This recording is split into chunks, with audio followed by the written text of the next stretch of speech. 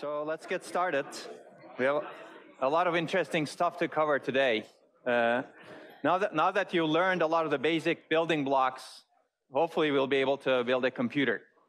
Not all of it today, but really the principles are going to come uh, today. But before that, I'll make the announcement. Recall that there is an interesting talk coming up. You don't have to attend it, but you might be interested in attending it. It's on cross-layer architecture for deep learning. It's on Friday, 4 p.m. This could be a good way of starting your weekend, learning about deep learning and how to accelerate it. And you also know that there, there's, an, again, it's an optional assignment. You will get credit for this for 1% uh, for reviewing Moore's paper. And more importantly, you will be informed uh, about what Moore really said as opposed to what everybody says what Moore really said, right? Okay. Okay, so this is what we're going to do today. We're going to start with the von Neumann model, which is a very influential model of how computing is done today and pro probably going into the future. Uh, but people are trying to change that, including the research that we do over here. Uh, but this will stay for a long time still, and in some part of the computer still. So, okay, we'll, we'll, we'll talk about LC3 and MIPS as examples of von Neumann machines. We'll focus on LC3, so we're going to cover a lot of this book today, especially chapter four, uh, and we'll move into chapter five also. And we'll cover the instruction set architectures, uh, and I'm going to give you examples from both LC3 and MIPS. LC3 is an instructional computer, Little Computer 3. MIPS is a real ISA that's used out uh, in many set-top boxes, for example, uh, around the world. Maybe it's not as popular as ARM today, but it's actually quite good for both instruction and it's a real uh, instruction set architecture. Uh, and we're going to talk about what that is, what they are. We're going to look at several instructions. And tomorrow we're going to do some assembly programming. So we're going to have some fun doing programming. We're going to actually look at machine code programming, and then we're going to look at assembly programming and build up, look at subconstructs. And then next week, we're going to go into microarchitecture and single uh, different forms of microarchitecture.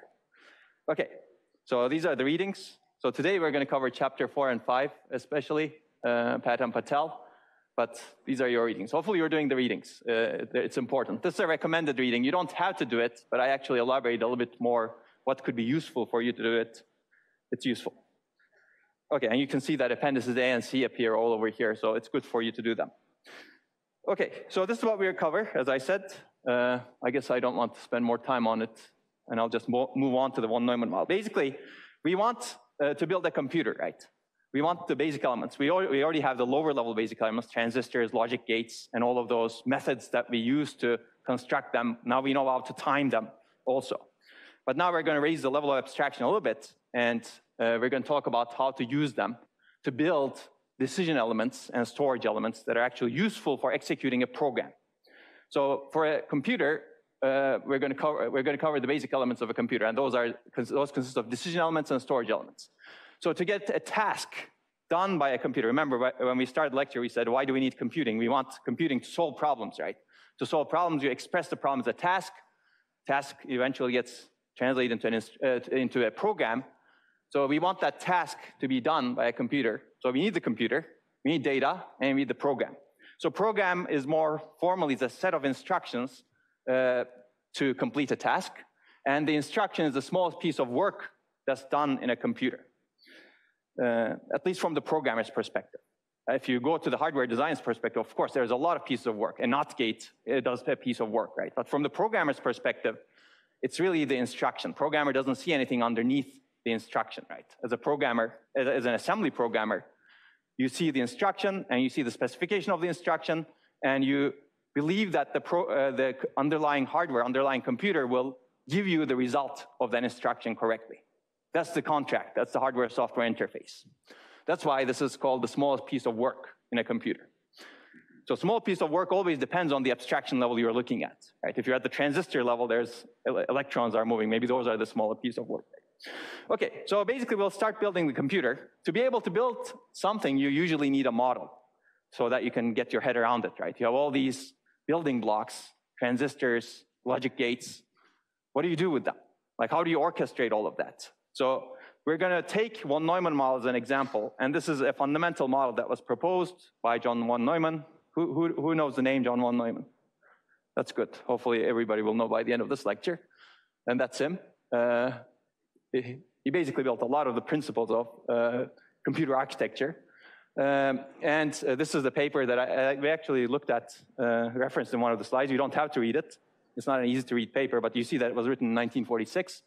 And he, uh, he and his co-authors defined the computer to be consisting of five parts. Memory, processing unit, input, output, and control unit. And basically all of the computers today, we have all of these five parts. And the key thing is orchestrating these parts. So throughout this lecture and throughout actually the, most of the course, uh, we will consider two examples of the von Neumann model, LC3 and MIPS, and x86, which is commonly used everywhere, ARM, which is commonly used everywhere. They're all examples of the von Neumann model. And I'm going to define what von Neumann model is uh, as we go through. But this is an example of von Neumann model. Basically, you have a processing unit, which is the master of everything. It interacts with memory. Uh, and we're going to look at the, these different components. So your computer looks like this, right? Maybe the input-output devices are different today. Like you have touch screens, that's another input device. An output device may be uh, the computer speaking somehow, right? But it's still input and output. Okay, so let's start with memory. You actually know what memory is, uh, but now we're going to look at the higher level of memory, like from the uh, somewhat from the programmer's perspective. So memory stores data and programs, and in the von Neumann model, there's really no distinction uh, between data and programs if you just look at memory. If you just observe the memory of this computer, you cannot tell what's an instruction and what's a data. In fact, a data element may be used as an instruction, and we will see that in a little bit, because there's no distinction uh, between them in memory. Memory is a linear array. So it consists of, contains bits. Uh, bits are grouped into bytes. Hopefully you know this. I'm going to go through this quickly. Bytes are 8 bits, and then uh, bytes are grouped into words, or bits are directly grouped into words. And word is defined by the instruction set architecture, which is the hardware-software interface. We're going to look at that. Uh, it depends on your uh, instruction set architecture. So how the bits are accessed determines the addressability. We actually talked about this. So you could have a word addressable machine. Basically, uh, this specifies that uh, your address indicates a single word. Basically, your address is for, for example, 32 bits. That's true in MIPS. Or you could have a byte addressable or 8-bit addressable machine in which case your address indicates uh, a byte. Address 0 is one byte, address 1 is the next byte, address 2 is the next byte, dot, dot, dot. If it's word addressable, address 0 is for the first 32 bits, address 1 is for the next 32 bits, and then so on. Okay, so this is the programmer's perspective again. And the total number of addresses is the address space, how many addresses you have in the machine. And that's really specified by uh, how long is your address register, if you will. So basically in LC3, the address space is defined to be 2 to the 16. It's a little computer. It's instructional, that's why it's so small, right? 2 to the 16 is not that big. Uh, and in MIPS, the address space is 2 to 32. That's a more realistic machine. Uh, so it's 32-bit addresses. It's byte addressable, so you can imagine that it's 4 gigabytes. But it's, even small today, right? In x86-64, x86 evolved over the course of 40 plus years. Before it was not like this, but today in the architecture, they changed the address space to be up to 2 to the 48, and that's a bigger number than most memories are today. So as programs evolve, as people need more data, the address space actually increases also. So people actually change the ISA over time. Maybe not as fast, but they actually add more bits. Okay, so this is hopefully obvious. Okay, each data word, so the, I said word addressable versus byte addressable. So let's take a look at that a little bit. If you have a word addressable memory, from the pro programmer's perspective, each data word has a unique address. In MIPS, as I said, a unique address is for each 32-bit data word. In LC3, which is in this blue book over here, Patt and Patel, uh, the uh, the unique addresses for each 16-bit data word. So it's basically the definition of the instruction set architecture. Per, per, the person who designed the machine said, okay, I want this data word, and the, hard, uh, and the software that's written on it should obey this fact that I chose my data word to be 16 bits. Okay, this is an example, pictorial example. In MIPS, basically, word zero has 32 bits. You can see the hexadecimal over here. You have eight four bits over here. And then this is the word address that you have for the data. This address zero contains this word, address one contains the second word, address two contains the next word, and next word, dot, dot, dot. Makes sense, right? Okay. So uh, if you have byte addressable memory, then each byte has a unique address. This is different from this one. Here, we, we are not able to address each byte. You can see that, right? The address zero is here, Address 1 is here. So the granularity is 32 bits. If you want to take a byte, which means that these bytes 8, 9 from here, you have to read the word and somehow extract that, those 8, 9s, uh, that, that 8, 9 over here. You cannot directly address that byte. So people found that it's useful to actually address bytes. In fact, a very good example of this instructional uh, LC3 ISA, Little Computer 3. Little Computer 3 in this book is, uh, is really uh, word addressable. But later, the instructor of this book found out that actually it's good to have byte addressable memory because people operate on bytes.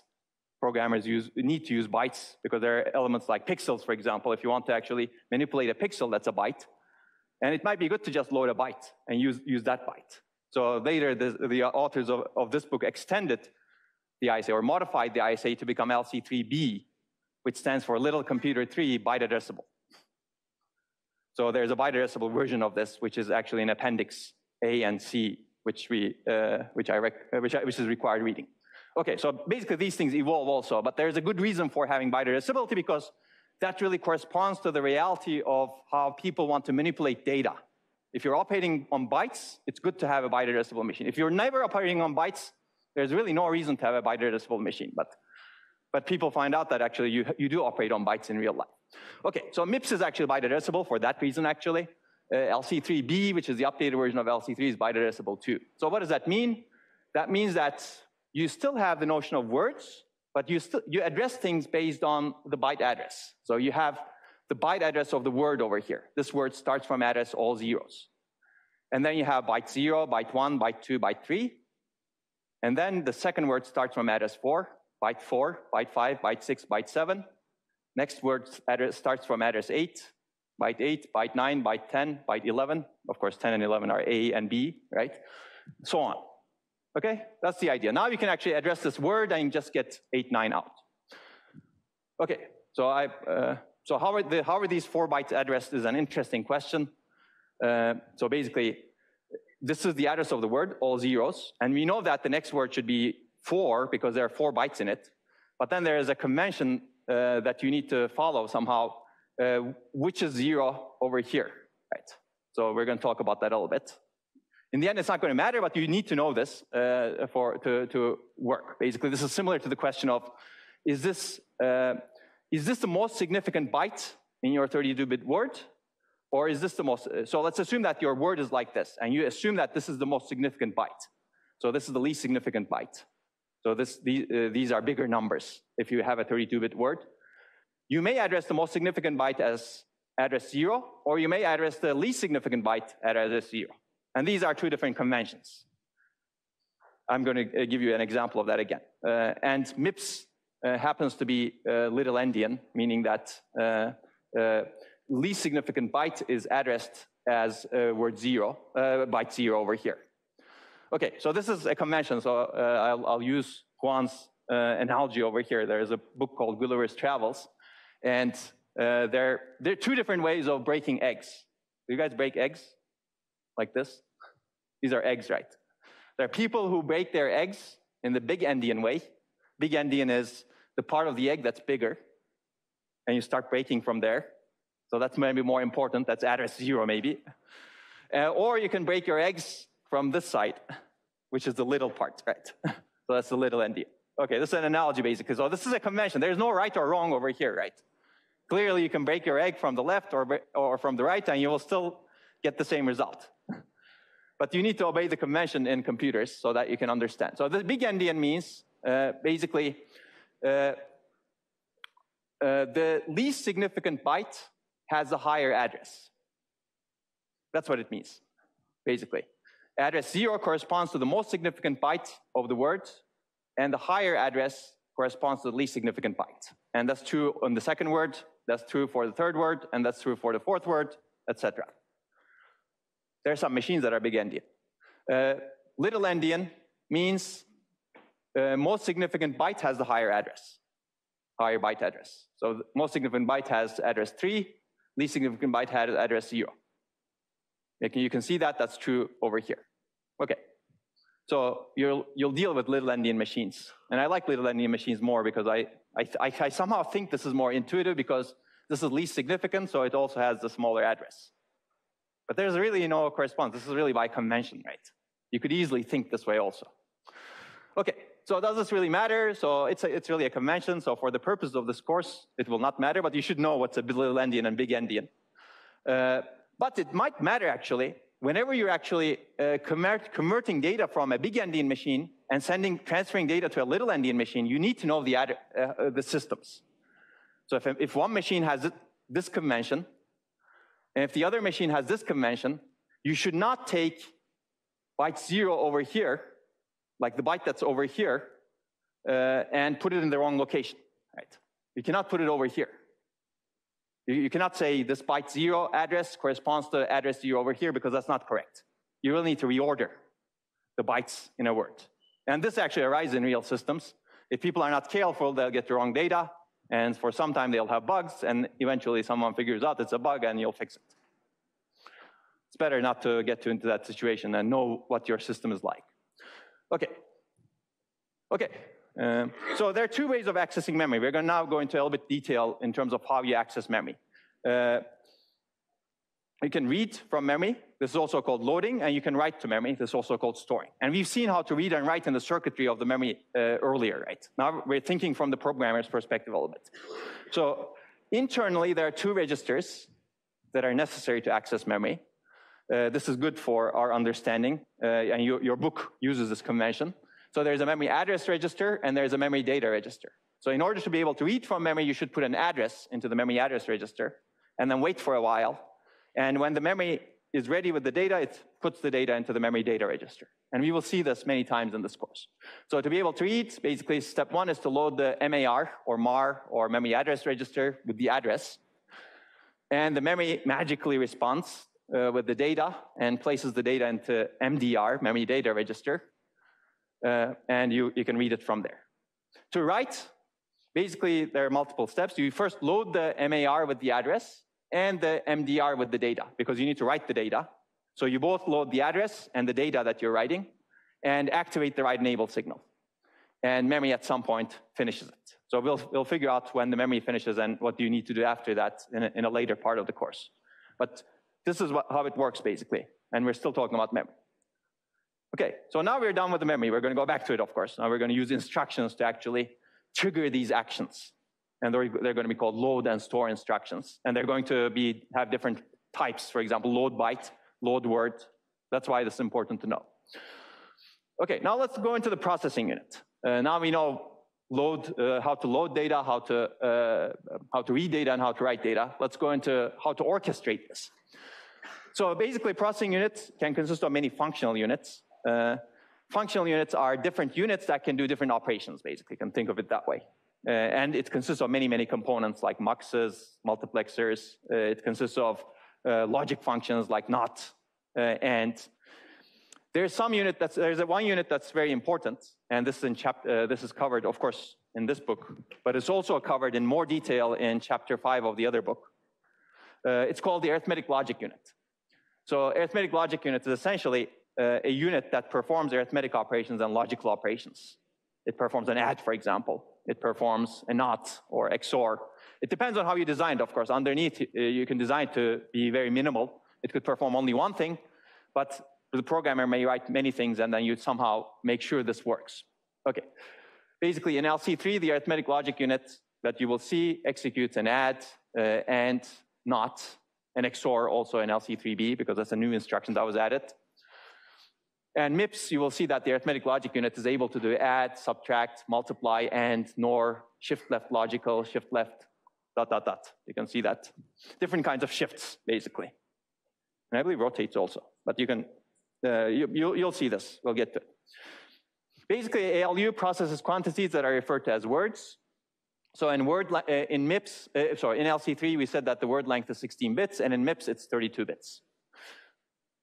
But there are actually cases in other ISAs uh, and uh, in newer ISAs where you actually operate on smaller uh, elements. So in the ALU also, you can operate on bytes, uh, smaller granularities. People, because people find out that you can actually be more efficient if you don't need to use the entire 32 bits, why not actually operate on only the 8 bits, right? But assume that this is true for now. But uh, there, there's nothing really uh, special about this, right? You can operate on any granularity if you design your arithmetic logic unit to be able to operate on that. So we're going to see temporary storage registers. So the registers are temporary storage that the processing unit has to store some values to operate on. You don't always want to go to memory because memory is slow. You want to actually operate on what's called registers. Uh, this is a small file, uh, register file. We saw the registers, right, earlier. You build basically multiple of those, and then you move the data from memory into the registers, and then you bring the data from the registers into the arithmetic logic unit, and then do the operation. So that's the idea. For example, if you want to do the calculation a plus b times c, uh, you bring a into a register, you bring b into a register, you do the a plus b, store the result into a register, and then you bring c into another register, and then you do the multiplication of those two registers, store the result in another register, and then write the register back into memory. That's the idea. So register you can think of as a very small memory space that's inside the processing unit, that's not part of memory, this is inside the processing unit, that's close to the arithmetic logic unit, where you bring the data in from memory and you store the data temporarily, and also you store the temporary results as well in registers so that you can operate on things quickly, because the register file is small, memory is big. Make sense? Yes.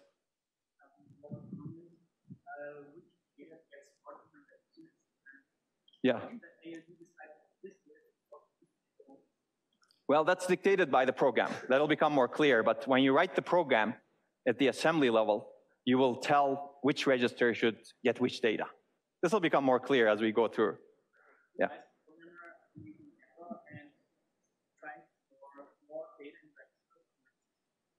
Then there are registers. Uh, well, you could potentially overwrite a register that you need. You could make an error, that's right. But uh, as an assembly programmer, the instruction set architecture specifies how many registers you have and what are the registers. So you should obey that basically. If you actually destroy a value that you really need, then that's your fault as a programmer. Okay. And of course, if people don't write assembly programs, you will learn about assembly programs here, but if people don't write, most people don't write assembly programs, right? Most programmers. So what happens? What happens is a higher level language gets translated into machine code, which is lower level than assembly. And the, it's the job of the compiler to do the allocation of the registers to particular memory locations. So people have automated this process. The, uh, the, compiler is the thing that does the register allocation. So this will become a little bit more clear. Even though we're not going to go into the higher levels of the stack compiler or how to the, how to the allocation, uh, think, uh, if, if the, uh, it's, it's very similar to a programmer saying, okay, I want to store this data into a register. Now its program is replaced by a machine or code that actually compiles uh, the higher level pro, uh, language program uh, such that the, the data that's operated on is placed into the registers first. Okay, so okay, let's talk a little bit more about the register. Well, I've already said this implicitly, but basically, why do we want registers? You could directly operate on memory locations, right? You could directly say A plus B times C. Now the question is, where do you store this? Uh, well, that's one question. And also, memory is always slow, right? You don't, you don't want to go to memory all the time. So basically, registers are introduced to ensure fast access to operands. Operands are basically things that you operate on. and for formal definition, you should look at uh, that, but this is actually very close to the formal definition. So typically, one register contains one word. There are exceptions to that in real life today, but we're, we're being simple over here. Uh, register set or register file is a set of registers, basically. So for example, these are, this is the set of registers that's visible to the programmer, assembly programmer, or the compiler. Uh, so LC3, for example, has eight general purpose registers, register zero through register seven. So you have a three-bit register number. So that three-bit register number is encoded in the instruction, as we will see later, and that indicates which register the instruction is operating on. Okay, that's one example.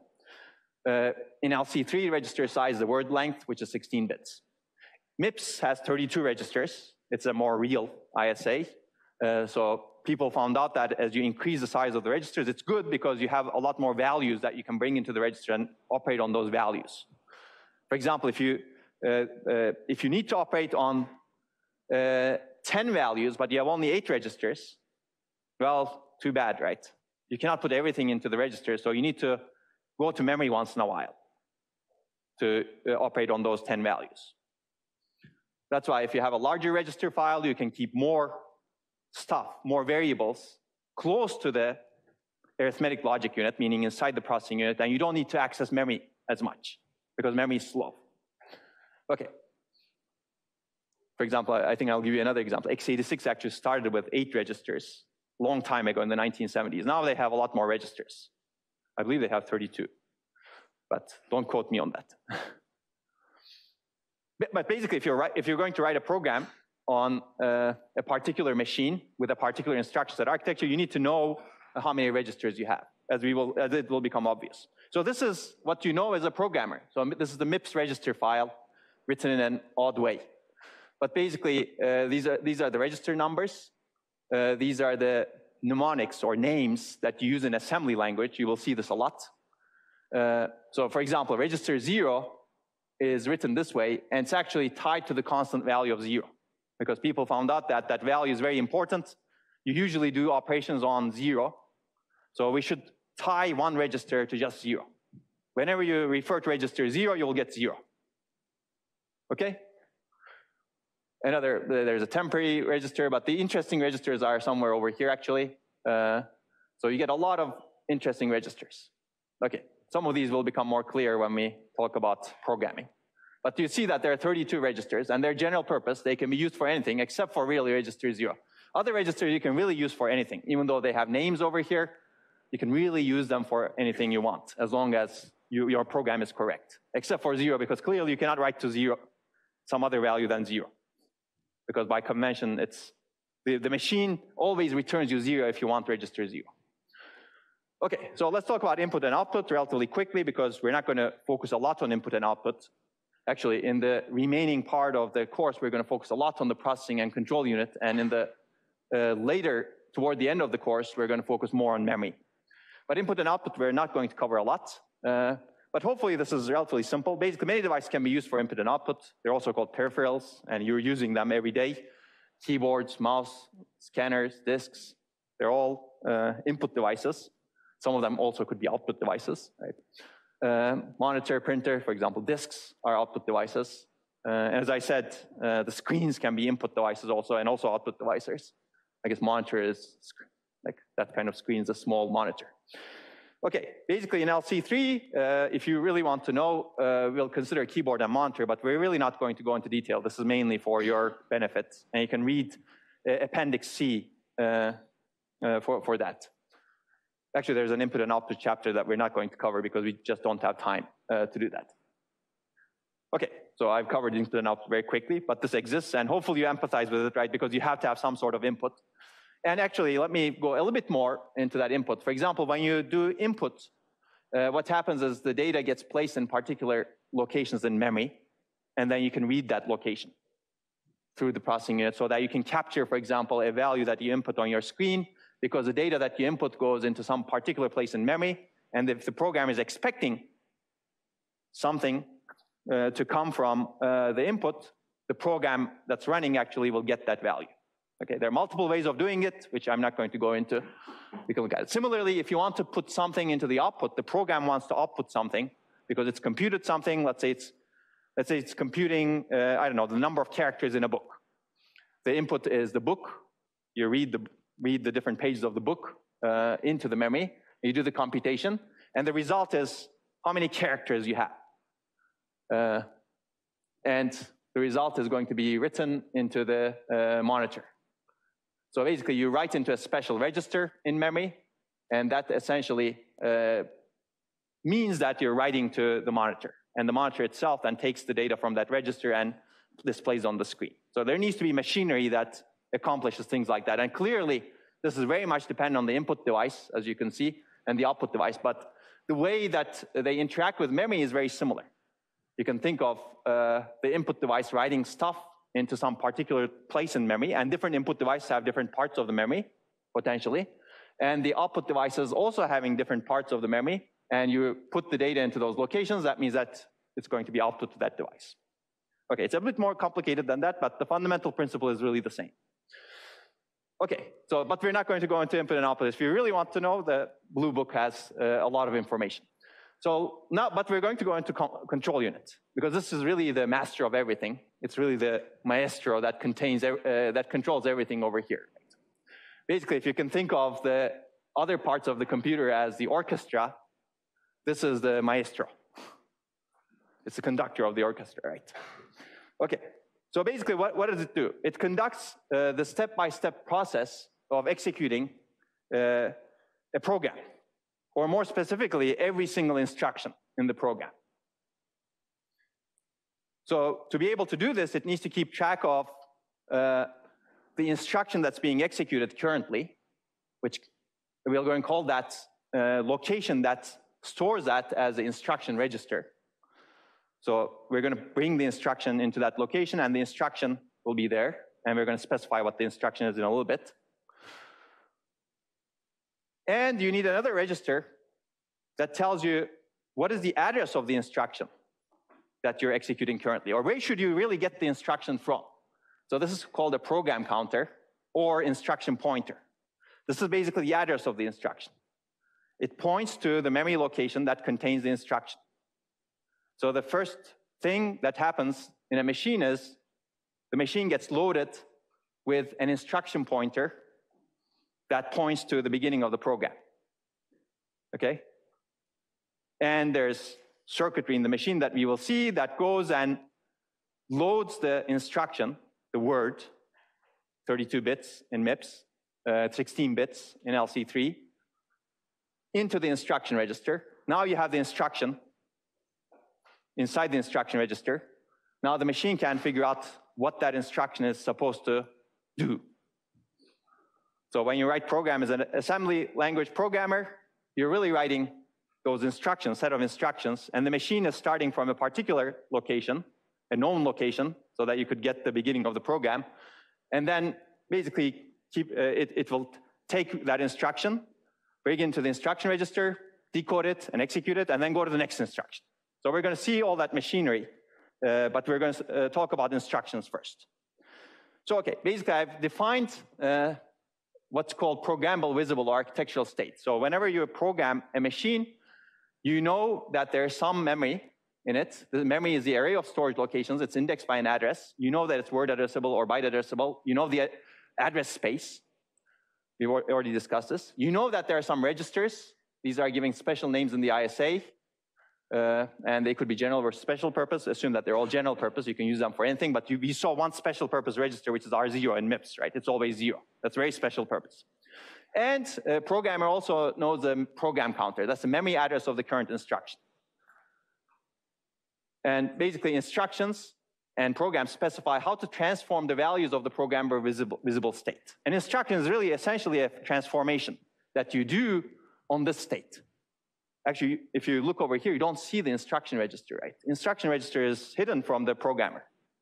The programmer doesn't know what that is. The programmer knows which address is the current instruction that's executing at, what is the state of all memory, and what is the state of all registers.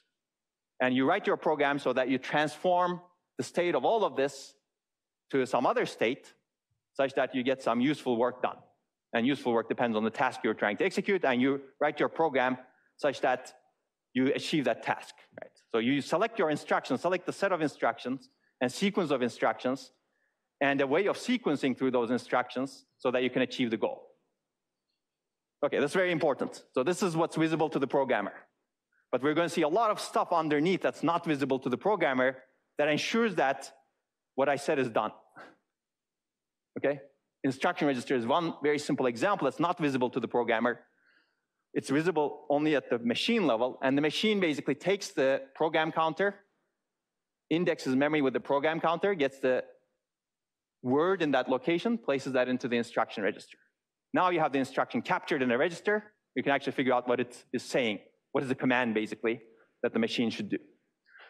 Okay, and von Neumann model is all about that, basically. You go through these instructions you, you go through, uh, basically your, your program is stored in memory, and you have a way of going through those instructions one by one, sequentially. So there are two key properties of the von Neumann model. Uh, aside from all of this, there are two key properties. Your program is stored in your memory, and you have a program counter or instruction pointer that sequences through the instructions in your program. Okay, this is also called a stored program computer, which means that basically instructions are in memory. It has two key properties, as I said, stored program in memory and sequential instruction processing. And these are both important, but this is going to be very, very important as we go into other models. So keep this in mind because we're going to, uh, we're going to break this at some level later on. Uh, okay, basically, stored program is instructions are stored in a linear memory array, as we saw, and memory is actually unified between instructions and data. So uh, the interpretation of a stored value in a memory location depends on the control signals that we will see later. So if the program counter actually points to a memory location, that means that you're going to interpret that memory location as an instruction. Make sense? Otherwise, there's no distinction between instructions and data. Of course, when you write, and when you load, you think that you're loading instructions, but you need to make sure that the program counter points to it so that it's interpreted as an instruction by the machine. Okay, and the second is sequential instruction processing. Uh, basically, one instruction is processed, as we will see uh, later in this lecture. There's an instruction cycle, meaning what, is, what happens to process an instruction. It's fetched, executed, and completed at a time. So your program counter points to one instruction, the machine fetches that instruction to the instruction register, figures out what it needs to do, it executes the instruction, finishes the instruction, updates the memory or uh, registers, depending on what the instruction specifies, and then go to the next, goes to the next instruction. What does that mean? Program counter is incremented, or you basically increment it so that you go to the next sequential instruction. So as I said, program counter uh, identifies the current instruction. Program counter is advanced sequentially to the next instruction, unless you've explicitly inserted an instruction that says you should go to that, some other location in the program. Now, why might you want to do that? Because you might want to branch, right? You may have an if, then else statement in your computer. And now the next instruction that you execute is dependent on how that condition of the if statement evaluates. If it's true, the next instruction may be the next sequential instruction. If it's false, the next instruction may be somewhere else. Okay, we will see this tomorrow also, but please do the readings because it'll be a lot easier if you actually do the readings. Okay, but hopefully this is clear. You need to have a mechanism to map the higher level constructs like if then else to instructions in the machine. And if you don't have an instruction that changes the control flow to some other place, you always go sequentially. Now I'm at address, uh, let's assume that program counter is at address, I don't know, 8,000. The next cycle, the program counter will go to address 8008. Well, sorry, 8004. it's a byte addressable machine, right? So assuming that instructions are four bytes, words are 32 bits, the next instruction's address is 8004. The next instruction, 8008. The next instruction, 8012, which is 800C, right? So basically you advance sequentially. Okay, now we're going to go into a little bit more detail on the von Neumann model. I'm going to scare you with this picture, maybe. I don't know if you can see this, but all the slides are online before the lecture. So if you want to basically we're going to cover this machine. Uh, and we're going to see how the different instructions get executed on this machine. So this is an example of a control signal. So we're going to denote the control signals with empty arrows, white arrows. Uh, uh, these are signals that control the operation of the mux, for example. Which input should be passed to the output of the multiplexer? Or another control signal is load PC. Should the program counter be loaded with the value that's coming from the mux out of here? Another control signal is ALU. What should the ALU be doing at this point in time? Right. So this is the entire machine. You have a register file over here, ALU over here, memory over here, input, output over here, and the control unit. So these are the five units in a von Neumann machine, as you can see. Processing unit, uh, control unit, memory, input, and output. We're going to look a lot into this part, but we're going to interact with memory a lot, and you can ignore this safely for some, for, for actually pretty much the rest of the course. Uh, but we're going to look at the operation here. Let me define uh, some things. Control signal is one example over here. Uh, data signals are uh, denoted with uh, like shaded boxes like this, black, black arrows, black arrowheads. Memory, we know that it's 16-bit addressable for LC3. and MAR, which I mentioned earlier, is a memory address register. This is also not visible to the programmer, by the way. This is an internal register, so that you can take uh, an address and put it over here, and you can get the data out of the memory, which is visible to the program. And memory data register is the register that gives you, gives you the data or that you put data into so that you can write to memory. Okay, what else? Keyboard, we discussed monitor, but we can ignore that safely. ALU, in, in, in this machine, in this particular design, it has two inputs and one output because the instructions are that way. Uh, and you can see where the inputs are coming from. One input can be coming from the register file, another input can also be coming from the register file, but it could also be coming from somewhere else. Is not fully connected over here to simplify things. As we progress, you will see different parts of the connections. Uh, and if you really want to see everything, it's, it's in the book. Uh, register file contains eight general purpose registers, as I said, register zero through register seven. Uh, and none of them are hardwired to zero in this case. Uh, LC3 doesn't have a register that's hardwired to zero. And instruction register, that, that's the instruction register IR, uh, as I discussed. So you have some address in the program counter, and the first thing that needs to happen in the machine is you have the correct address some, somehow getting over there. And once you have the correct address, what needs to happen is this program counter needs to be loaded onto this bus and put into the MAR, memory address register, so that you can get the data value out from memory. Memory brings the data into the MDR, and this needs to get loaded into instruction register. So you need to set the control signals appropriately so that this happens. And we will see how you set the control signals appropriately. But hopefully, this is called a data path, and there's also some control logic. Basically, this shows you the movement of the data. Data meaning some number of bits. So program counter needs to get loaded onto this bus and placed into the memory address register. And then you wait for some time, memory responds, the data appears in memory data register, and you need to make sure that that gets loaded into the instruction register. That's how you fetch an instruction. And we will see the step very clearly. Okay, so who orchestrates all of that? There's a finite state machine, which you know of. Uh, well, we know of finite state machines, but there's a finite state machine that orchestrates all of that. This is really the control unit uh, of the machine. And we will see how to build that later. For example, it's, it tells the machine which ALU operation it should do at this point in time. That's dependent on what is the instruction over here, right? If the instruction is an add, this should say an add. If the instruction is a multiply, which doesn't exist in LC3, it should say a multiply.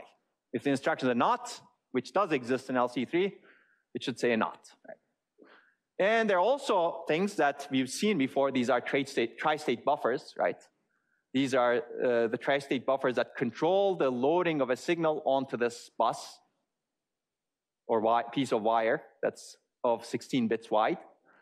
Uh, this is what you control to ensure that the data gets from one place to another place appropriately. For example, if you want to, uh, that's the bus, that's basically the piece of wire. If you want to move the program counter from here into the memory address register, what you need to do is ensure that the gate PC is enabled. Remember, this is a tri-state buffer. If gate PC is one, the input passes to the output. If gate PC is zero, the output is Z, floating, which means that this wire doesn't get connected to the bus, so the bus is not driven. So you need to ensure gate PC is one, and you need to ensure load MAR is one, meaning that you write enable uh, the memory address register. So that's how you move gate PC, uh, move the program counter value into the ad memory address register over here. But you also need to make sure that no one else is moving, putting anything on the bus. Remember, tri-state buffers that are that way. Uh, for example, there's a gate ALU signal over here. You need to make sure that no other wire is really driving the bus. So this has to be zero. There's another gating signal over here. This has to be zero. There's another one over here. This has to be zero. So there's only one bus. So you need to ensure that only one uh, thing is driving uh, the bus at a given time. Okay, so I've given you some examples of it. We're going to cover this in more detail. Uh, but basically, uh, instruction and data are stored in memory, as I said. Uh, the, typically, the instruction length is the word length, and the processor fetches instructions from memory sequentially. I'm going to repeat the von Neumann model. You fetch one instruction, you decode and execute the instruction, you continue with the next instruction after that. The address of the current instruction is stored in the program counter. Uh, let me finish this and then we'll take a break. If you have word addressable memory, the processor increments the program counter by one. That's how you go to the next instruction. This depends on your addressability clearly, right? Because if you have word addressable and uh, your program counter is, then it's a, it's a word, then you increment the address by one. If you have addressable memory, the inc processor increments the PC by the word length. So in MIPS, the word length is 32, and that means four bytes. 32 bits means four bytes. So you increment the program counter by four.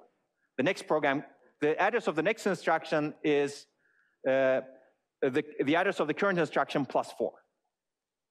Okay, and in MIPS, they always typically set the PC to this value. That's the beginning of the program, basically. That's where all programs begin.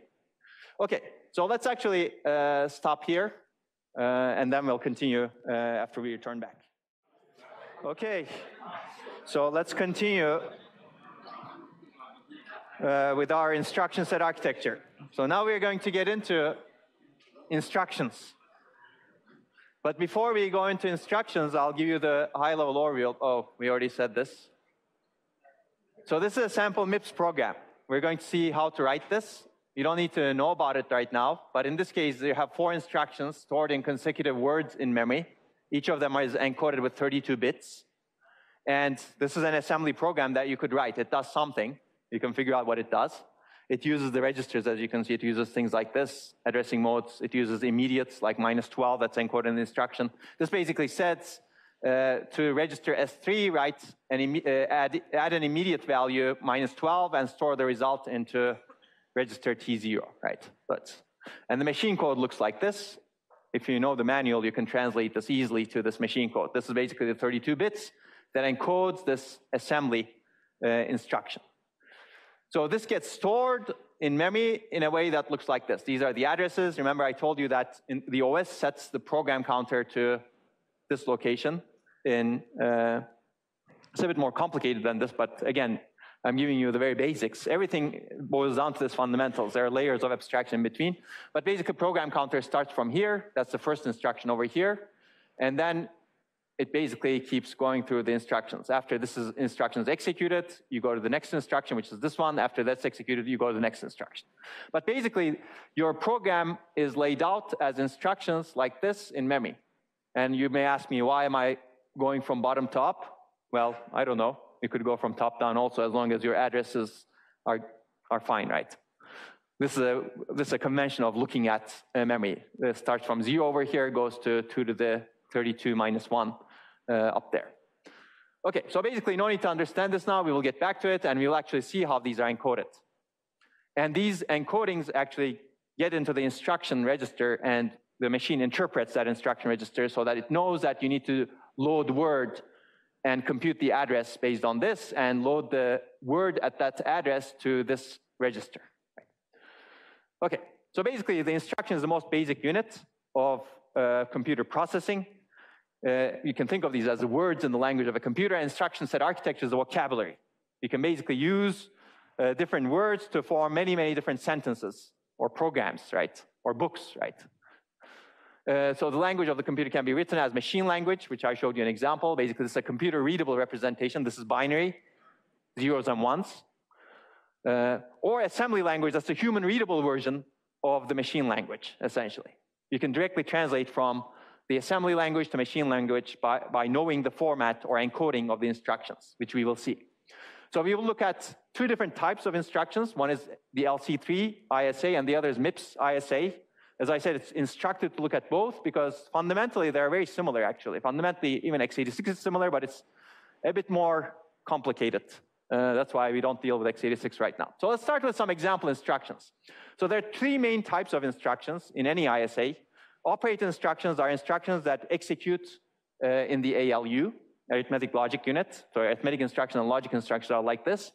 They're data movement instructions that move data from and to memory, basically read, or write, to read from or write to memory.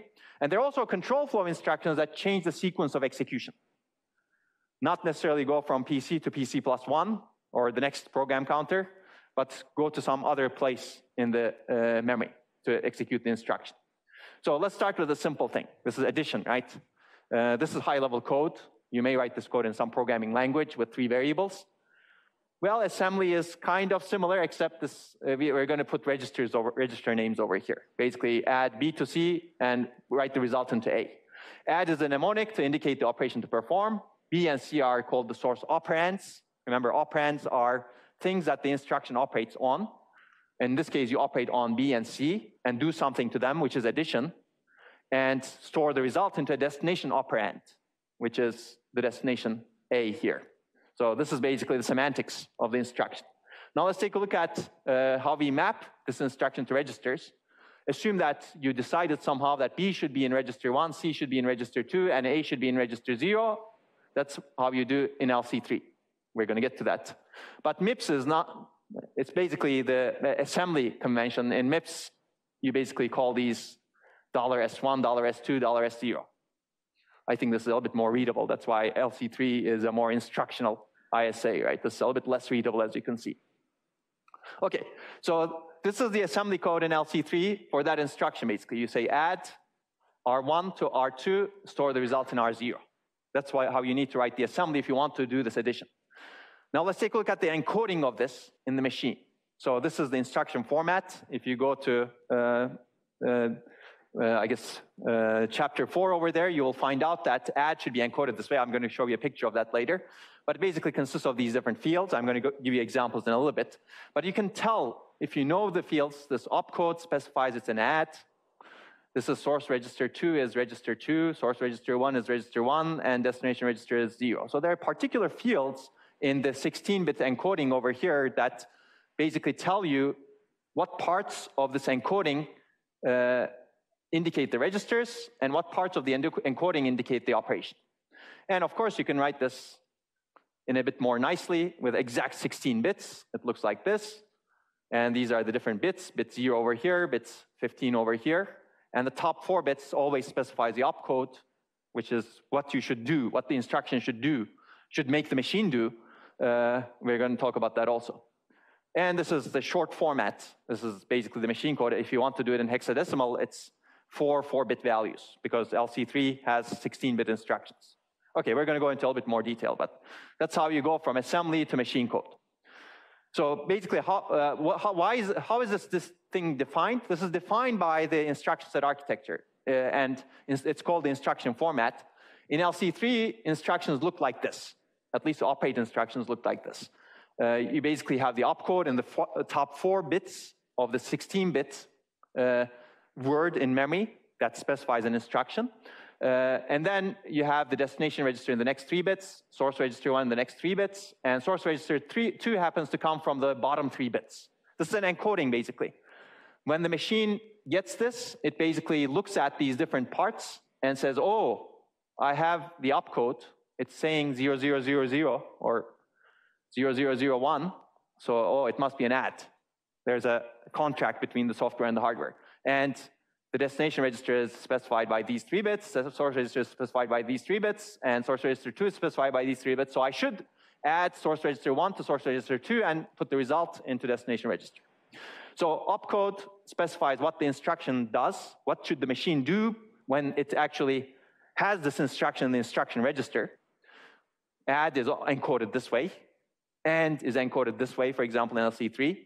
SR1 and SR2 are source registers, and DR is the destination register. For example, add semantics is add SR1 and SR2, store the result in the destination register, and AND is basically similar. AND is a bitwise AND. Basically do a bitwise AND of SR1 and SR2. Okay, so MIPS is very similar, basically. I'm going to go through the MIPS also. Uh, basically, all ISAs have similarity except they also have idiosyncrasies.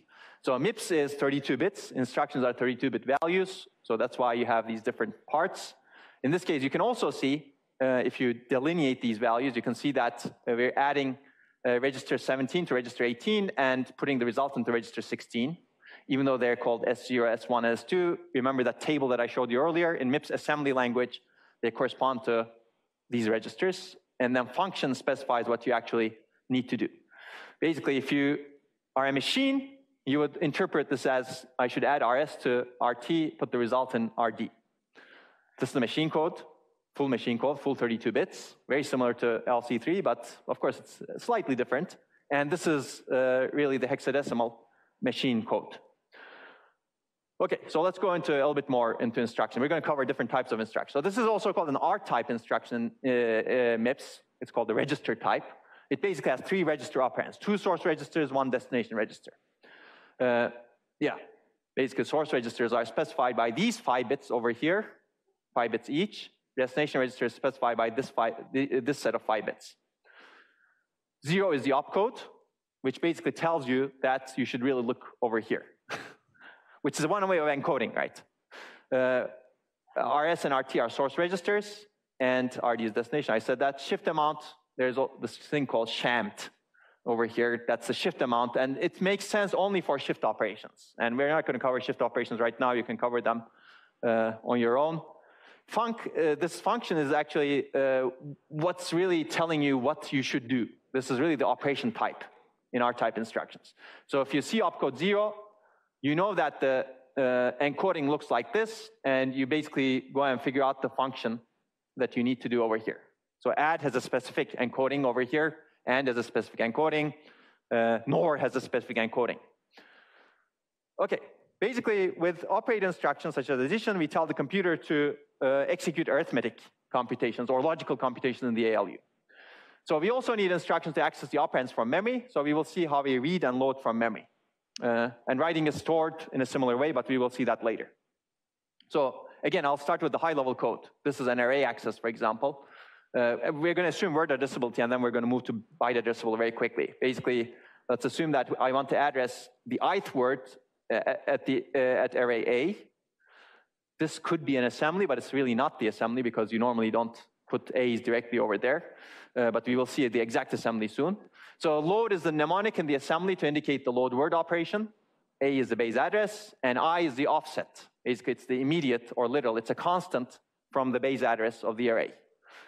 And A is the destination. Basically, it's the register that you're going to move this word to from memory. And the semantics is basically access memory at address A plus I, get the word out of there, and place the word into this register, A. Okay, now let's take a look at, assuming that LC3, and we're going to imagine a machine that's uh, word addressable, but MIPS-like, how, how would you do it? So this is a high-level code. In this case, I'm going to make it uh, concrete. Let's say we want to access uh, a word at offset 2 or index 2 from uh, array uh, A. So this is the assembly. So assuming that your array starts from R0, let's say address 0, you basically go to uh, word 2 that's the index indicated by this immediate, uh, oh, sorry, this LDR. So assuming that uh, the beginning of the array address is in R0, you take the value is in R0, you add to it 2, and you calculate the address. That's the idea, basically. And you, put, uh, you calculate the address, and you access memory in that location, and put the, uh, put the value in R3. This is one way of accessing memory, and this will become more clear. So MIPS is going to be similar. It's basically like this. So you can see that it's a, the syntax is a little bit different, but it's essentially doing the same thing. Use the value in the register S0 as the beginning address of A, add 2 to it, access the word in memory, put the data into register S3. Okay. So basically, these instructions use a particular addressing mode. This addressing mode is called base register plus offset. It's called base plus offset or register plus offset. You, you can see both. Uh, so the, the, addressing mode is how you do calculate the address that you're addressing in memory. So now I cooked up something over here. Uh, this is the word addressable MIPS. Uh, but there's also a byte addressable MIPS. So the byte addressable MIPS is what we're going to look at over here. So MIPS is really byte addressable, so we really need to use uh, 8 over here. If this is our high level code, if array A contains elements that are uh, words, uh, the second element, second offset, 0, 1, 2, really starts from byte 8, right? Because you have two words, each of them has four bytes, so this uh, second one should start from byte 8. And that's exactly what this MIPS assembly that corresponds to this says. Uh, get the address by calculating the base address of the array, which is in register S0, add 8 to it, which is that, access the memory location, and then put the word that you get from there, because it's a load word, into register S3. So how do you calculate the byte address? I just told you uh, more formally. You take the word address, which may be in your array. So at the high level, programmer is operating on words. It could be operating on something even bigger. Then you need to multiply it with something bigger, right? It could be like uh, 64 bytes, right? Uh, if you have that data type in your language. Uh, so basically, we multiply the word address by bytes divided by word. So you have four bytes per word in MIPS, so if LC, uh, so that's why we multiply four by two over here. If LC3 were byte addressable, then you get two bytes per word. Okay, so uh, this is essentially instruction format with immediate. So what we did was, uh, we have an immediate value over here that is part of the address calculation. And this is what the encoding format looks like. Basically, uh, the top four bits always designate the opcode in LC3. In this case, LDR happens to be encoded with six. Once the machine sees six, it looks at a format that looks like this, basically. And the format is such that the base register is specified by the value that's over here. The offset is specified by these six bits over here. And the destination register is specified by these three bits over here. So once you see the opcode, you know what the rest should look like because there is an agreed upon format of instructions between the software and the hardware. Okay, so if you look at MIPS, it's also very similar actually. It's also, it's called an I-type instruction MIPS because this is an immediate value over here. Uh, essentially you have the opcode. Once you see this opcode, the rest of the instruction looks like this, instruction bits. So uh, this is uh, your source register, this is your destination register, uh, or the other way around actually. Yeah, ex exactly, that's true. This is your destination register and this is the immediate. So it's a little bit swapped over here, as you can see, destination register over here. But it basically is a format, it's a convention that's agreed upon. If you're building an LC3 machine, you should make sure uh, you obey this format, right? And if you're writing a program for LC3 machine in machine code, you should make sure you obey this format. Okay, so that's encoding. So now how are these instructions executed? I, I, was kind of talking about execution also, but let's talk about how you can, once you see this encoding of an instruction, how can you execute it? So basically using instructions, we're really speaking the language of the computer at the lowest level, right? So we know how to tell the computer to execute computation in the ALU by using, for example, an addition, or access operands from memory by using the load word instructions. But how are these instructions executed on the computer? As I said briefly earlier, the process of executing an instruction is called the, called the instruction cycle. Not to be confused with the clock cycle. Clock cycle is very low level. It basically is how fast your clock uh, is your clock, right, as we discussed. Instruction cycle is the process that you have to execute an instruction from the beginning to the very end. And what is that instruction cycle? Basically, an instruction cycle goes through a sequence of steps or phases to get executed. And these are the six phases. You need to first fetch the instruction, decode the instruction, figure out what it's doing, evaluate the address of the instruction if the instruction needs an address, fetch the operands that the instruction is supposed to operate on, you need to execute the instruction and store the result of the instruction somewhere. Okay? And all instructions go through these steps, not all of them go through every step, uh, or phases. Uh, I'm going to use phases and steps interchangeably. For example, if you're loading, if you, you saw the load earlier, base plus offset, it's called LDR, load register. It doesn't execute because there's nothing to execute. You're just loading some data value from memory into a register, right? You don't go through the ALU, arithmetic logic unit. This is a simple load of a data value from memory to a register. You need to calculate the address, evaluate the address, but you don't need to execute anything. After you fetch the operand, you directly store the result into the register that's specified as the destination register. Add doesn't need to evaluate the address in the machines that we're looking at because add actually doesn't uh, have an address because the operands are encoded in the registers, right? There's no memory address that it needs to evaluate. Okay, there are other more complicated ISAs that actually uh, go and uh, read a memory location, add it to a register, and write the result back to a memory location or to a register. x86 is one example of that ISA. It's more complicated. So you can actually do, uh, one operand can come from memory, another operand can come from a register. You do the calculation, and you may store the data into a register or memory location depending on uh, the instruction. This goes through all of the six phases, actually. You need to do every single step, but it's a more complicated instruction also. So the instruction set architectures we're going to examine are register to register architectures. You basically don't have operands coming from memory. You cannot operate on those operands. You basically operate only on the registers. If you want to operate on a memory location, you need to first load it into a register and then do an ALU operation on it. Okay. Is this clear? So now we're going to go through each step. So pay attention because it's going to be important. We're going to use this for the rest of basically uh, the course, because every instruction in every machine is executed this way today. Uh, basically, it's a loop.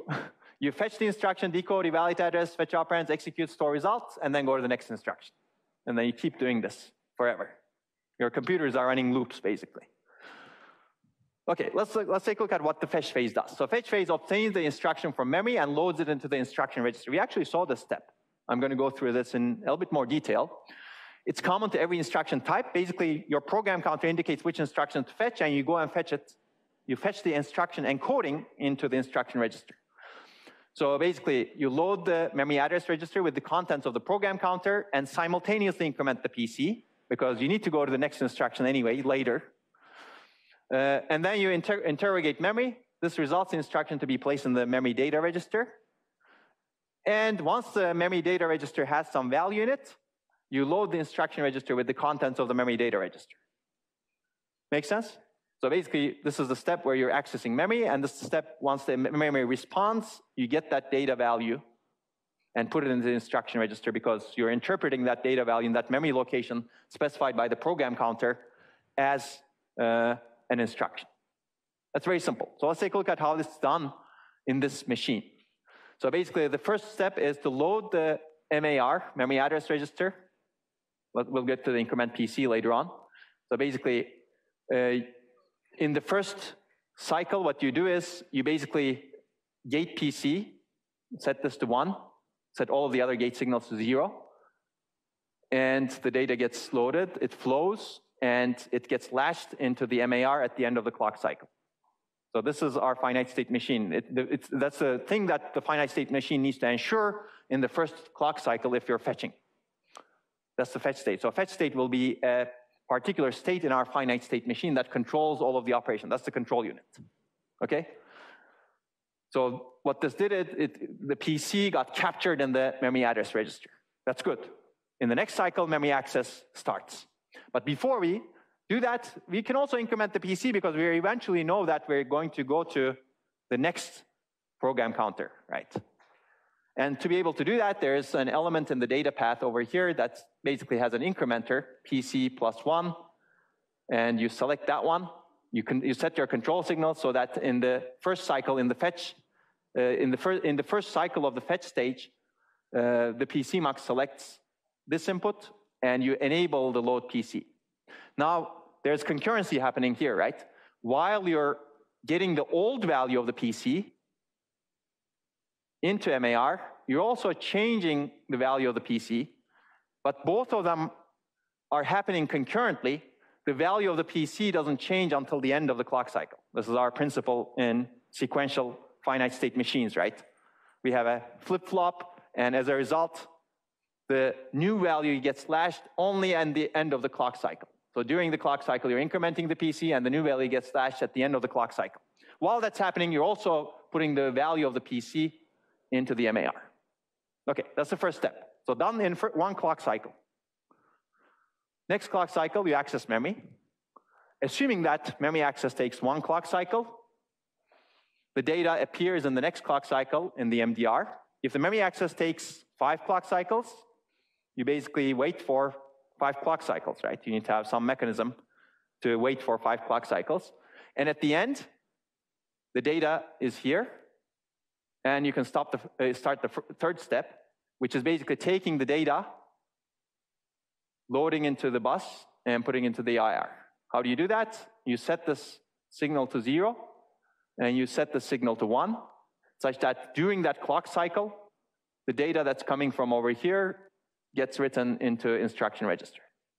Okay, so now you kind of have a sense of how you should set the control signal so that the elements that are designed do the things that you want them to do. And in this case, we're fetching an instruction. We don't even have an instruction yet. We're fetching the instruction from the address pointed to by the program counter into the instruction register. And that's the third step, basically. You need to ensure in every clock cycle, the control signals are set appropriately to obey the specification that I just said over here. And how do you ensure that? You build a finite state machine that does it. And you know how to build finite state machines by now. Okay, we'll see the finite state machine later. So the next step is decode. The decode phase essentially identifies the instruction. Right? So how do you identify the instruction? Basically, we have a decoder. Remember? Actually, if you don't remember, you can go to the slides. Uh, in LC3, you have, remember the opcode bits are four bits, top four bits. You can, you can run those four bits through a decoder, a 4 to 16 decoder. It identifies which of the 16 opcodes is going to be processed. Remember, when I introduced the decoder, I said it's a pattern matcher. Opcode is a pattern, four-bit pattern. You want to figure out what that four-bit pattern is and raise the right signal saying, oh, okay, this is an add, this is an AND, this is a load, load register, different types of load, this is a NOT, this is an XOR, okay? So basically, LC3 has 16 instructions decoded uh, this way. And the input is, as I said, it's already in the instruction register. These are the top four bits of the instruction because you already placed the instruction into the instruction register. The remaining 12 bits identify what else is needed to process the instruction. And we know, based on the format encoding, that different instructions have different encodings, and these bits specify what you need to do. And we will see that. Okay, so what, how, how, does decode happen? Basically, you already have the uh, instruction in the instruction register. You basically need to identify, decode it. And decoding means that you go through some decoder, and that's the decoder over here. These are the 16 uh, bits over here. Uh, well, you decode this and you figure out basically what instruction you have by looking at the top four bits. Okay, there's more to discuss on the decoder, but we'll uh, do that later. Decoder also identifies which part of the instruction uh, are uh, denoting the uh, source registers and the destination register. All of those are the outputs of the decoder. Like what is your source register one ID? What is your source register two ID? What is your destination register ID? If you have an immediate, what is that immediate? If you have a shift amount in MIPS, what is that shift amount, for example? Okay, so the next phase in the instruction processing cycle is evaluate address. So evaluate address phase computes the address of the memory location that is needed to process the instruction, assuming the instruction needs a memory location address. So this phase is necessary in load register that you see, saw, LDR. So it computes the address of the data word that's to be read from memory. Uh, in this case, the instruction specifies the computation of the address such that you add the offset or the immediate to the content of a register. That was LDR, if you remember. But this phase is not necessary in add because add doesn't, in LC3, doesn't uh, require access to memory to get its operands. Okay, so how does this work? Uh, basically LDR calculates the address by adding a register and an immediate. So decoder told us what is that register, source register. Decoder also told us what is that immediate. So you, this is not shown here, but what happens is you access the register file, get the source register value inside from the register file, and add to it the immediate value, actually a sign extended version of the immediate value over here. You'll see this in more detail later on. So you have a special adder over here that has the address over here. So now we have the address. Yes? Uh, you said uh, LC up to, um, or n stuff for So if I want to uh, add number to this portion, and we do the first Exactly, exactly. You first need to use a load instruction to put the uh, values in the register, and then you do the add. Exactly, exactly. Basically, you're only capable uh, your capability is dependent on what's in the instruction set. If you don't have the instruction to do it, you use the smaller instructions to build the larger constructs. Okay, so this is LDR. You will see, you'll become familiar with this more and more. So the next step is fetch operands. And basically, it obtains the source operands needed to process the instruction. So in LDR, for example, this is very similar to actually, uh, in LDR, this is very similar to accessing memory. We're going to access memory. We already access memory in the fetch stage, but we use the program counter as the address. Now we're going to use the address that's calculated in the evaluate address stage and load it into the MAR.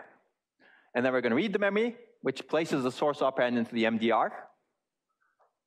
And then uh, in add, uh, you obtain the source operand from the register file.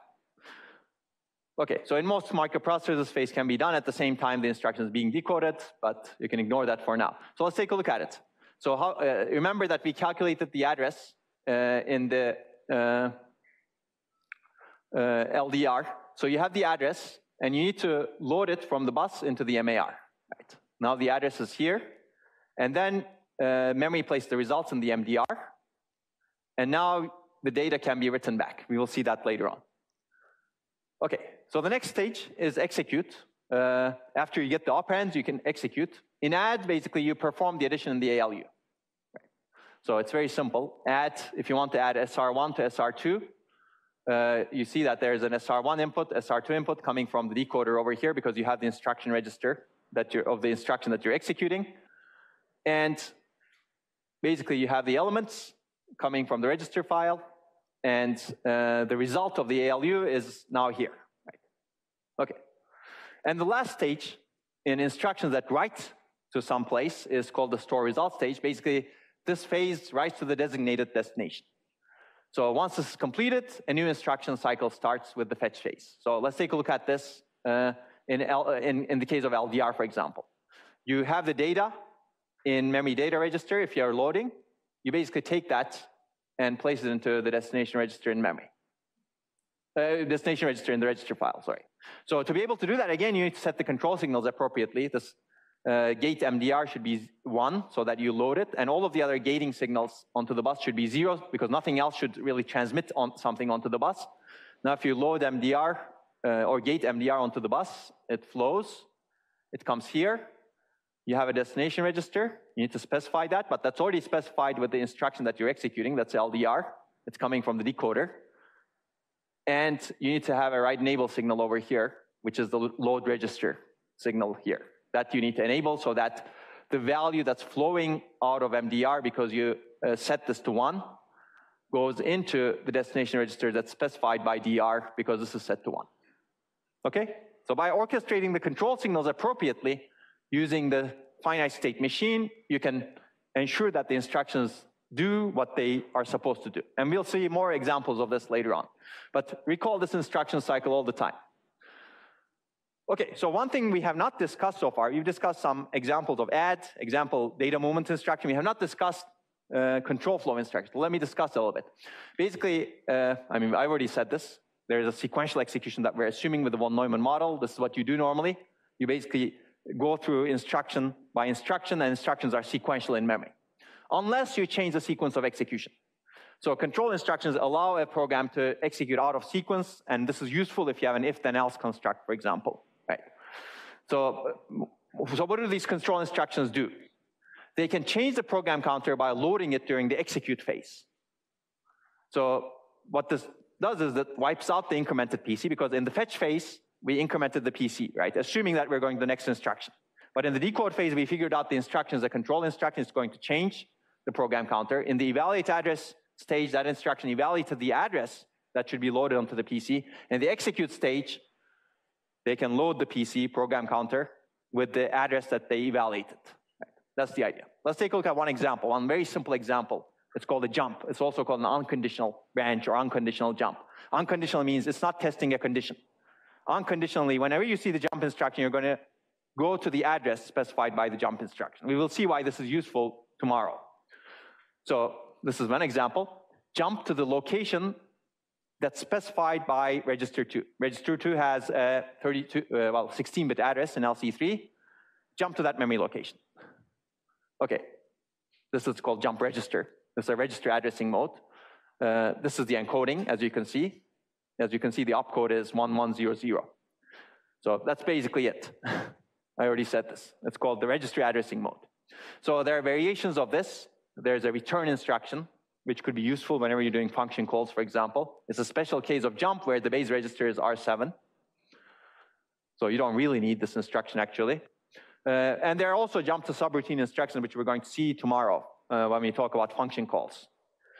Jump in MIPS is very similar uh, to x86, uh, not x86, LC3, uh, except the target address calculation is a little bit different.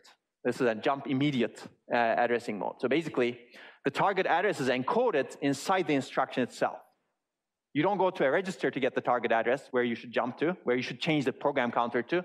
It's encoded inside the instruction bits because instruction bits are 32 bits, 26 bits are used for that purpose. And these six bits, if they're two, you know that it's an unconditional jump instruction. That's the opcode, basically. This is a special type. It's called the J type, jump type instructions. Opcode is two, target address is specified by that. And the target address computation is a little bit more complex than just taking this target address. Basically, you take the program counter's top three bits, uh, top four bits, sorry. That's what the, this indication is. And you need to be careful because this is really the incremented PC. It's really uh, not the program counter of this instruction, but program counter of the next instruction. That's by convention again. This is basically uh, that. And then you concatenate those four bits with these 26 bits multiplied by four. What does that mean? You add two zeros at the bottom of the 26 bits, because multiplying by four means shifting left by two. And you concatenate that value to the four bits of the PC. So it's a little bit cumbersome, but you basically take four bits and 20, 28 bits over here, you put them together, and that's your next program counter. So this is how you can calculate your address. So if you know you want to jump to some instruction, you need to calculate what target you should put into your instruction if you're doing this machine level coding. Of course, most people don't do that. The compiler figures out which target uh, uh, bits to put in an instruction because it knows where, where should the program jump. Okay, this uh, is another addressing mode. The address is calculated using pseudo-direct addressing mode. You don't have to remember that. So there are a bunch of variations. Uh, jump and link are, is useful for function calls. Uh, we'll see that again. Jump register is actually what I showed you earlier. This is the jump in uh, uh, uh LC3. It's basically you jump to the location that's indicated by the 32-bit value uh, in the register S0 in this case. Right? Basically, PC gets that value. Okay? So there are variations basically so that you can do different kinds of jumps. And this is the register addressing mode that's very similar to what I showed you earlier. Okay, so let's take a look at how this happens uh, in the LC3 data path as well as some other stuff. Uh, yeah, actually, uh, yeah, how do, you, how do you implement jump in LC3? Let's take a look at it. So we're going to look at, uh, this is our program counter over here.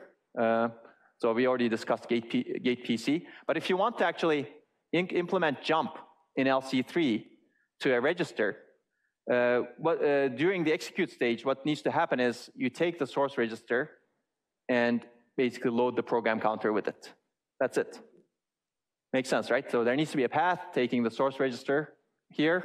You set the control signal during that time to, so that you select this input and you ensure that load PC has value one, you enable uh, that flip-flop so that PC gets written. Uh, and the value that's coming out of source register one gets placed into a program counter. And we can look at these later on. Okay, makes sense? So basically, I, I think I've covered a lot of the instruction cycle, but let's, this is a, a small introduction of the uh, to the finite state machine that I kind of was describing to you. Basically, this is the fetch part. So you have three states. Assuming memory access takes one cycle, this is what you do. In the first state, you load, uh, actually I'll do this. You basically, the finite state machine asserts gate PC and load MAR, so that PC gets loaded into the MAR, imagine the picture right now, uh, and PC also gets incremented at the same time. It selects input plus one in PCMux and asserts LDPC. You should go through this on your own. We've gone through a lot of it actually so far. And then you go to the next state. At the end of the clock cycle, you transition to the next state. And the next state, you're basically accessing memory. MDR is loaded with the instruction. Well, we know that it's an instruction in this case because we're in the fetch states over here. We designed the finite state machine. Now at the end of that state, we have the instruction in the MDR. In the third state, we move that instruction or the data that we got in the MDR into the instruction register. So you need to assert the control signals that are necessary to do that movement, which I've already told you actually. You gate the MDR onto the bus, and you load the instruction register, and the, whatever you gated from the MDR goes into the instruction register. And then the next stage is actually decoding, if you look over here. And basically the FSM goes to the next state depending on the opcode. If you look over here, there are three kinds, add, LDR, jump but actually there's 16. This is just the things that we've looked at so far. If, if the opcode is an add, you go into this set of states. If the opcode is an LDR, you go into this set of states. If the opcode is a jump, you go into this set of states. So now actually, we're building a machine that can execute three instructions, as you can see, right? It can fetch any instruction, it can execute three different instructions. If you want to, to execute 16 instructions, you need to have a 16-way machine. So let's assume it's a jump, you decoded it, and that's the first state for after decode for the jump instruction. So you do something. That something is clear in that book. And then at the end, you have this state. Where the register that you read gets loaded into the program counter. Now your program counter changed to the address that was in the register that was specified by the jump. Now where do you go next? Well, this says to state one. We've changed the program counter such that the next instruction that's executed will be fetched from that program counter. We've jumped to some other location in memory, basically. Now, if you actually executed add, you would have done the add, and then you would go back to state one. Okay, so that's the finite state machine. And if you want to have the full state diagram, it's in Appendix C. Okay, so now let's go through the instruction set architectures in a little bit more detail. Uh, and then we're going to go into a little bit more, and then we're going to uh, cover programming tomorrow. So what's the instruction set? And you've seen all of this, actually. so it defines opcodes, data types, and addressing modes. Uh, and we've seen add and LDR as our first examples. So add is like this. You've seen this. LDR is like this. This is the specification. Add uses register mode. Uh, this is the base plus offset mode for the how it calculates the address, right? These are just registers. This is actually register plus offset or base plus offset. So I've already said this, but let's make it more clear. The ISA, instruction set architecture, is really the interface between the software commands and what the hardware carries out. What the programmer should expect, the hardware should do. And that's the ISA. It's basically the link between program and microarchitecture. And we've seen a lot of microarchitecture and logic over here. Now we're going to link it. Actually, we've linked it, but now we're going to make it a little bit more formal. So it specifies the memory organization, which we've covered, address space addressability, word or byte addressable. That's part of the ISA. It specifies how many registers you have. The programmer needs to know that. It specifies what are the instructions, what are the opcodes, what are the data types, what are the addressing modes. Basically, everything is specified so that the programmer can write the program that the hardware is going to execute. It's a contract between the hardware and the software. If, you're, if you have a machine that executes ARM ISA, you have a contract, you have this contract written in a book. That book tells you, okay, these are the properties of the ISA, memory, register set, instruction set, right? And a, a bunch of other stuff also, which we won't get into right now. So opcodes uh, could be many or small, right? For example, uh, there's an opcode instruction for doing this in one of the architectures. x86 has different instructions. I said earlier that it has a binary coded decimal instruction, right? x86 has multimedia extensions, later called SSE and AVX, which we're not going to go into. In, in the VAX ISA, which is an old ISA, it's a dead ISA, nobody uses this ISA as far as I know right now, you have instructions that are much more complicated. For example, you can save all the information of one program prior to switching to another program, all the registers. The single instruction does this. So instruction capability varies depending on that contract, that book that you get. Okay, this is the processor that I have. What can I do with it? What is the capability of the instruction, right?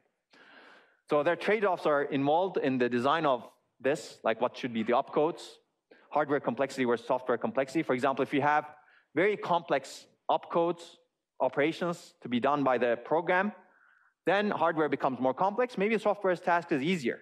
For example, you can write a linked list access, linked list node access with a single instruction. That's possible in some particular ISA. Not in MIPS, not in LC3. Not in most ISAs, actually because hardware becomes more complex and software may be easier, but compilers are very good today, actually. Uh, so maybe they don't want the linked list instruction. Okay, so in LC3 and MIPS, there are three types of opcodes, as we said, operate, data movement, and control. And this is the opcodes in LC3. So this is actually the full ISA in LC3. And the opcodes are always at the four top bits, right? And you can see the different formats of the instruction. This is a full specification of the instruction encodings in LC. I shouldn't say full ISA because ISA inc includes other stuff like memory and registers. But this tells you the instruction encodings. This is LC3B, it's a little bit different. It has a different instruction, it has XOR. Turns out it's nice. And it has two unused slots. If you want to add some other instruction, maybe later you can augment the ISA with the specification. And this is another example for uh, MIPS R-type instruction. MIPS is much more complicated, so we're just looking at the R-type over here. You don't need to memorize this whenever you go through this, you actually figure out how it works. So basically, for example, opcode is zero in MIPS R-type instruction. and Funct defines the operation, as I said earlier. So where is that funct? Funct is this. This is the function, basically. They, they didn't have enough characters to write ION. That's why it's funct. Okay, and for example, these are the other instructions. So it doesn't fit over here because it has six values to the six is 64. So you have some other page over here. And you can find the complete list in the appendix. So this is actually a very good place to stop. We're going to continue with the ISA tomorrow, and we're going to do some programming, assembly programming. I'll see you tomorrow.